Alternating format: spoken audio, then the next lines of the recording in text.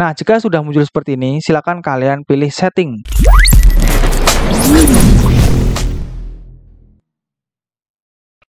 Halo warga digital, terima kasih sudah bertamu di channel ini. Nah, kali ini saya akan membantu kalian bagaimana cara mematikan Windows Security atau Windows Defender sehingga kalian nantinya bisa menginstal aplikasi yang sebelumnya tidak bisa kalian install. Apalagi kalau semisal kalian membuka RAR dan malah RAR-nya itu filenya terhapus, file yang ada di dalam RAR-nya sehingga menjadikan korup. Nah, untuk itu sebelum kalian menginstal silakan kalian matikan Windows Defender kalian dulu atau Windows Security kalian. Nah, caranya silakan kalian pilih ini. Setelah itu kalian pilih ini, klik dua kali yang ada logo Defender ini. Nah, jika sudah muncul seperti ini, silakan kalian pilih setting. Kemudian kalian pilih manage notification. Setelah itu kalian matikan nih yang virus and threat protection notification. Kita matikan. Jika ada perizinan, kita klik yes.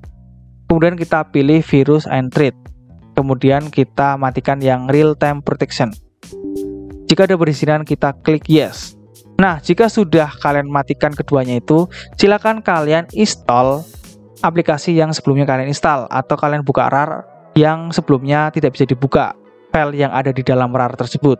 Nah, jika sudah kalian install aplikasinya atau kalian buka filenya, silakan kalian nyalakan lagi. Karena apa? Karena agar tidak ada virus yang masuk di dalam laptop kita jika kita menggunakan internet nantinya. Nah, untuk menyalakannya, silakan kita nyalakan saja seperti ini. Real time protection kita on kan. Kemudian di virus and threat protection kita on kan lagi. Jika ada perizinan kita klik yes. Saya sudah mematikan Windows Security atau Windows Defender, tapi kok masih tetap belum bisa terinstall ya? Kemungkinan kalian ada antivirus. Nah, di sisi lain, kalau misal kalian masih belum bisa juga, kalian matikan Windows Security atau Windows Defender, kalian matikan protectionnya. Kemudian kalian juga harus atau wajib mematikan antivirusnya juga. Seperti ini contohnya saya menggunakan antivirus Madaf. Nah, di sini silakan kalian klik kanan, kemudian kalian klik exit saja. Nanti akan mati sendiri. Nah, jika muncul seperti ini kita klik OK.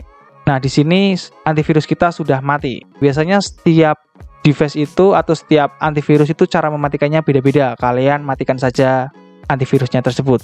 Tapi jika kalian sudah menginstal aplikasinya dan kalian sudah membuka file yang ada di dalam RAR yang sebelumnya belum bisa, sekarang sudah bisa, atau sudah selesai lah istilahnya, kalian bisa menyalakan antivirus dan Windows Security atau Windows Defender-nya tersebut. Karena apa? Agar tidak ada virus yang menyerang laptop kita nantinya.